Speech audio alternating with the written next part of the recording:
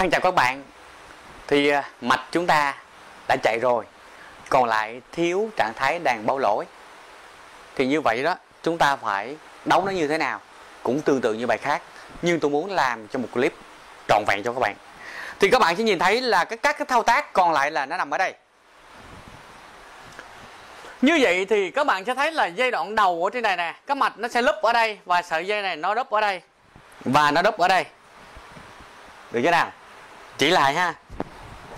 Đó là thưa các bạn là nó chạy từ đâu? Nó chạy từ ở trên chỗ này nè. Nó chạy xuống đây. Chạy qua đây, chạy qua đây Chạy qua đây, chạy qua đây.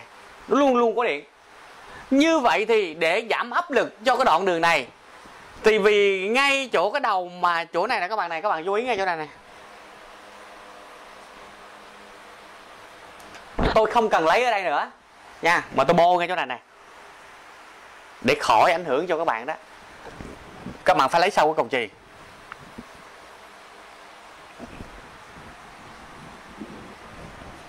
Sau cầu chì nha, tôi vẽ lại cái đường đường này.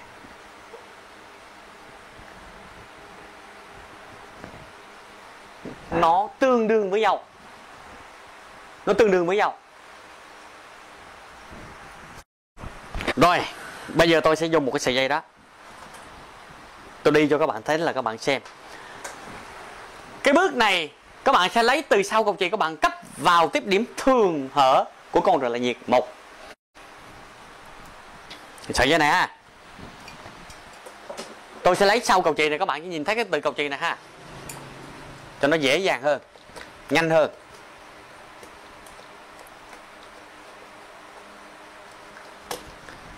Các bạn sẽ thấy ở đâu không? Chân 98 tôi chưa siết cho các bạn đâu. Thì các bạn sẽ nhìn thấy nè. Tiếp theo từ ngay chỗ này nè. Nó lại đắp qua đây nữa nè. Được chưa? Tôi sẽ dùng một cái sợi dây ngắn nè. Tôi đắp nối tiếp với nhau. Chỗ này.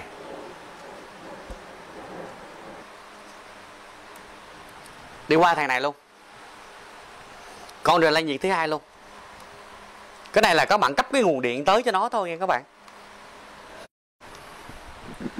Rồi, bây giờ đó là sau 98 đó là các bạn chỉ nhìn cái đoạn này nè.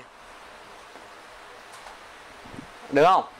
Nó đi về cái đèn tôi đang cầm tay nè. Nha.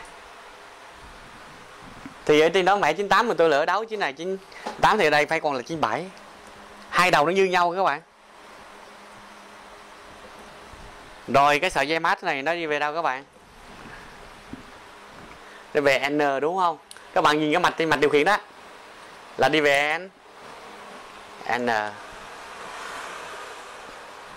Bây giờ n chỗ nào có n các bạn lấy được nào? Các bạn nhìn cái sợi dây này, nè các bạn dò theo sợi dây này nó về đây này đúng không? Cho nó gần nó tiện. Hay là các bạn muốn lấy ngay chỗ này cũng được bây giờ nó hai rồi. Mà ngay chỗ này nó là một này các bạn.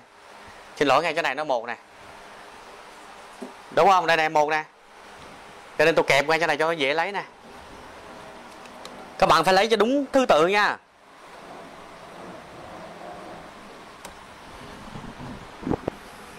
Cái đèn này báo lỗi.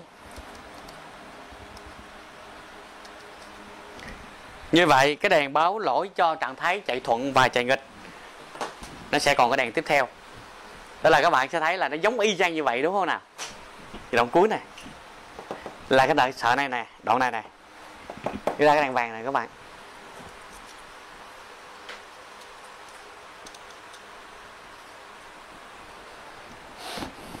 Và sau cái đèn vàng này thì các bạn sẽ thấy là nó có một sợi dây màu xanh nó đi về. Về dây mát nè đoạn này. Là xong. Đúng không? Mình lấp ngay chỗ này cho bạn thấy cho nó nó, nó có lửa của nguội ha. Mình không dám làm trước mình sợ là các bạn sẽ sẽ sẽ sẽ theo không kịp. Được không nào? Đây. Như vậy thì ngay chỗ này, cái chân còn lại nó là ngay chỗ này nè các bạn. Nè, các bạn nhìn như thế này này 97 này thấy không? 97 98 gì cũng được, đúng không? Xong, các bạn chú ý là nãy mình nói cái dây mắt đèn nó nằm ở đâu các bạn à? À mình mới vừa làm cái đuổi đó đó, mình mượn ngay chỗ này luôn nè các bạn. Đúng chưa? và đây là mình tư duy nó.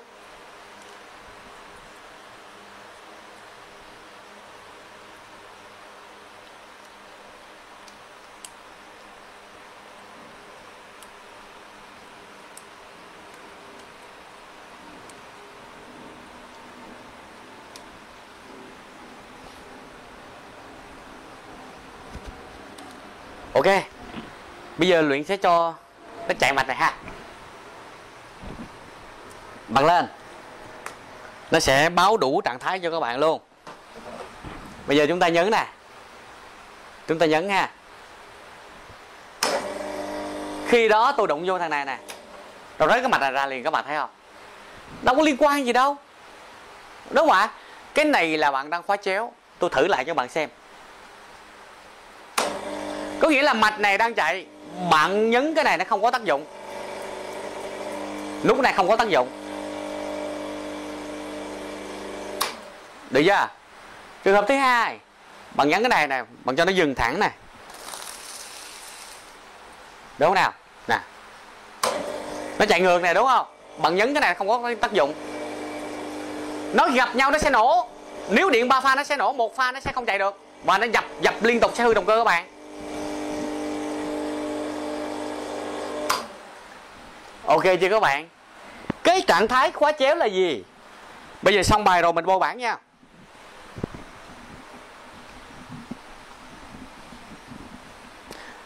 Trạng thái đầu tiên, nếu như con một, con k đang k 1 con này k 2 thì ở đây là số 0 một có nghĩa là hoạt động được, không không làm việc được.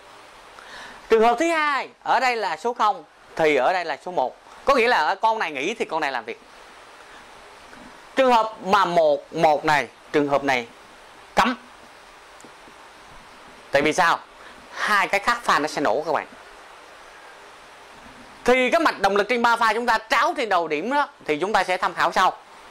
Đây là cái mạch đảo chiều quay của một pha, ba pha cũng giống nhau như vậy thôi. Không khác gì hết. Nha các bạn.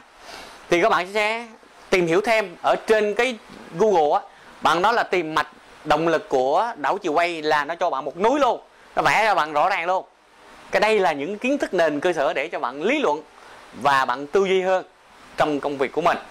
Cảm ơn các bạn đã theo dõi bài học số 12 này, chúng ta sẽ đi qua cái phần chuẩn bị khởi động sau tam giác.